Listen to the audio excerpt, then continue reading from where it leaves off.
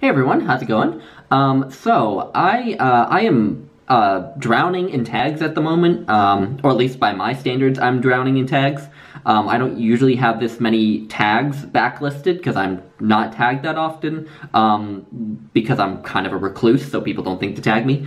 Um, but uh, not that I have a problem with that. Uh, just that's just how it how it happens. Um, so uh, I figured that uh, the best response to having a huge backlist of tags to do um, would be to procrastinate on doing that by doing a tag that I wasn't actually tagged in. um, so uh, this is the reading habits tag. I saw it on, I saw BiblioAtlas do it. Um, I've seen many people do this tag, but it was really uh, BiblioAtlas's video that kind of inspired me to want to do it. Um, I actually, uh, on her video, was going to write, I was writing up this long comment, giving all these thoughts about uh, the questions and some of her responses and stuff. And then it kind of hit me, you know, why make her read this long comment? Why not just do the tag? Um, so that's what I commented on her video. I said, okay, I was gonna, I was gonna make all these, all this long comment about what you were saying, but uh, I figure I should just probably do the tag. So uh, anyway, this is uh, this is my rendition of the reading habits tag.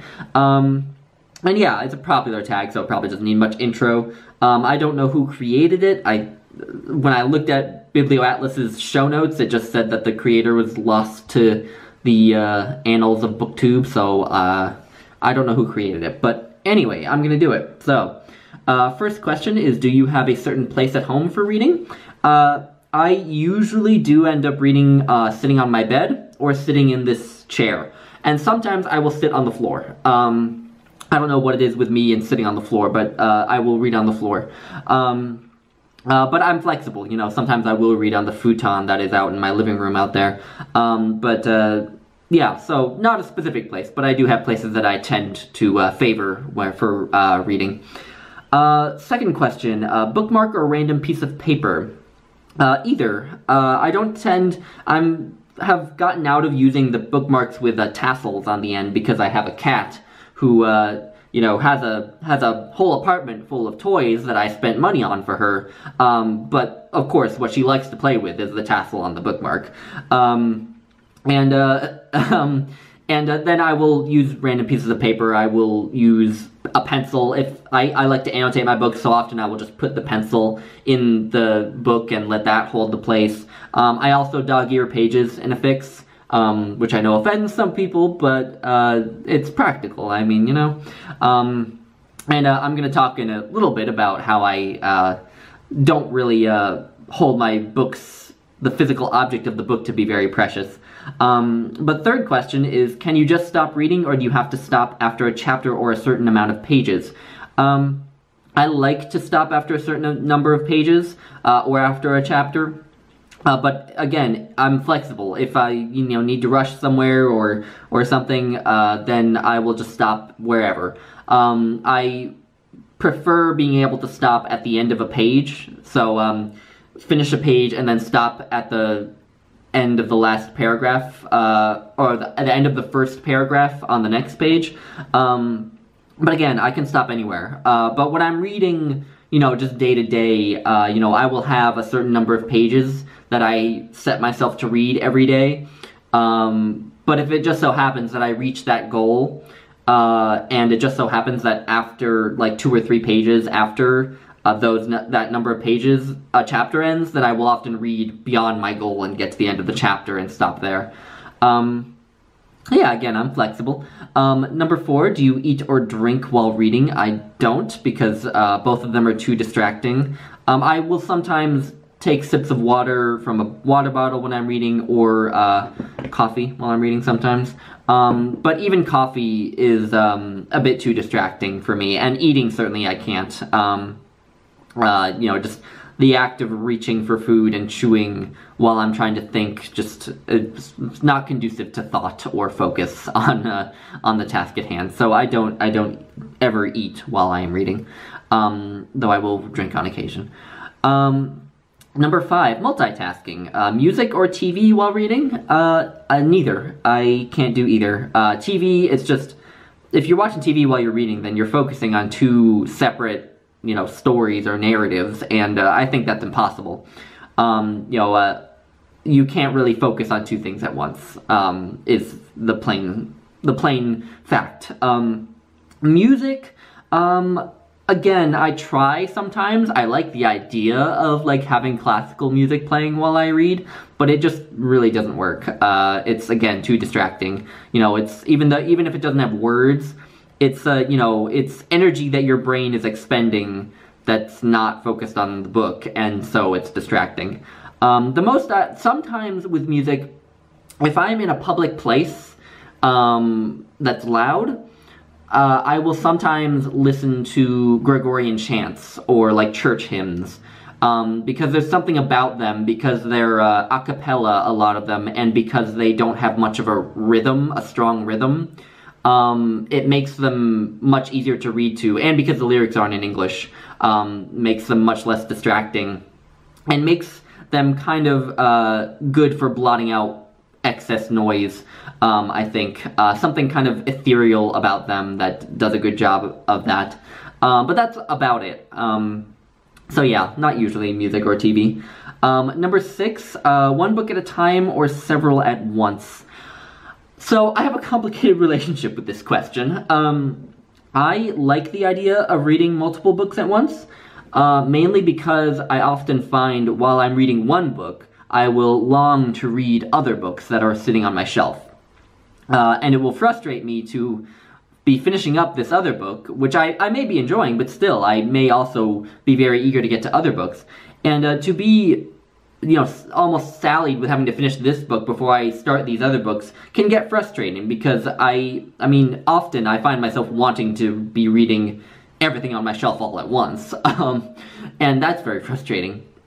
So I like the idea of being able to read multiple books at once so that I'm not experiencing that feeling as much. But what that often uh, degenerates into is, to me, trying to read five books at once, and then not really finishing any of them, uh, and then just picking one of them out and finishing that one. And so then I have read, you know, one book and have like four or five unfinished books sitting on my shelf, um, which I never like. Um, and also, on top of that, there is just kind of the mental clutter from reading multiple books at once. Um, I know that that's an ambiguous term, but I just find that when I'm trying to re- juggle multiple books in my head at once, it's more difficult for me to read each one individually very deeply um, because I'm distracted by the other books that I'm reading. Um, so yeah, I want to be able to read more books at once, but uh, I don't. I'm not very good at it. Uh, right now, I'm managing it. Right now, I'm reading a general work of nonfiction um, which is actually pretty light. Um, and then I'm reading a book of poetry. I'm reading the poems of John Donne. And then I'm reading the Gospel of Matthew, which is a uh, narrative, um, not a work of fiction per se, but it is it is a narrative. It's a story, so it, it kind of has uh, a sense of reading fiction to it. Um, so uh, that is working. I think because the three books are all so different.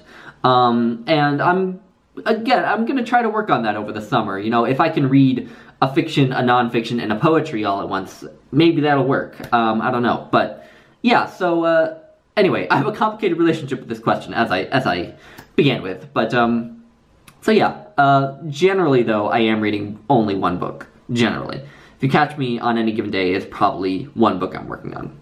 Um, all right, number seven. Uh, do you read at home or do you read everywhere? Uh, generally, I read at home, but uh, I will read in cars, on road trips. I will read on planes. Um, I have read on trains as well. I do find it a bit more difficult to read in cars or on trains, um, just because there are distractions around uh, with the, even just the bumpiness of the car or the train can be a bit distracting to me. Um, but I can usually get past it and read there. Um, but generally I do prefer just reading at home. Uh, because again of those mental distractions that you run into in the outside world uh, make it more difficult to read. Um, number eight, uh, reading out loud or silently in your head. Uh, I read silently in my head. Uh, I do sub-vocalize everything I read. Um, I'm very detail-oriented when I read and very deliberate when I read, and I want to read deeply when I read, so um, I do sort of recite everything in my head when I read it, which I know makes it very slow. I am a painfully slow reader, but that's just how I am. I have tried to work on that unsuccessfully in the past. Um, number nine, uh, do you read ahead or even skip pages? I do not. Um, I like to keep a sense of mystery. Uh, if if it's a plot-driven book, I like to keep a sense of mystery. And if it's not a plot-driven book, if it's like a work of literary fiction, then there's not much point to skipping ahead because there's probably not any kind of um, you know big twist at the end anyway. Um, if it's a work of nonfiction and there's a section of the book that I think I will find particularly interesting, I may skip ahead and read a little bit. Um, that's not quite the same thing. I, I, I think the question is targeted at fiction, um, so I don't, you know, I don't think that really matters. Um, and you know, in nonfiction, you know, it's not, it's not, there are no twists in nonfiction anyway. Um, uh, number 10, uh, breaking the spine or keeping it like new. Uh, I used to be very precious about my books. Uh, I never wrote in them. I never bent the covers or broke the spine or anything. Um, but in the past couple years, I have embraced uh, the joys of destroying books. Um, I annotate. I annotate a ton now. Um, I love breaking spines. I actually breaking the spine is actually one of my favorite parts of reading a book now. Uh, reading a really long book. Um, and I will happily bend the covers. I have even uh, taken some paperbacks and bent one of the covers all the way around to just read the one page. Um, I do that sometimes if the book permits, if the physical uh, uh, book permits.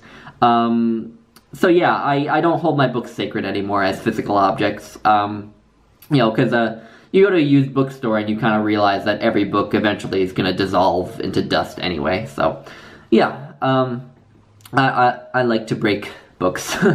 um, number 11, uh, do you write in your books? Yes, I do, quite a bit. Um, I, when I'm reading poetry, I will underline lines that I find particularly striking or moving or thought-provoking. Um, I don't generally comment much on poetry, uh, except where like an image I find very striking um, or or an idea that gives me a thought. But um, but I'm not very good at reading poetry critically, so I don't annotate on poetry that much. But um, in uh, fiction, I will underline uh, lines that I like, and I will comment on what's happening on. Uh, you know the, the the themes of the story. I will make comments on that and comments on the characters and what's going on and and things like that. Just kind of things to keep me engaged, basically. Um, nothing that you know, would be particularly interesting to find if you weren't me, basically. Uh, but just basically to keep myself engaged. Um, and then with nonfiction. Nonfiction is uh, the genre where I definitely uh, annotate the most.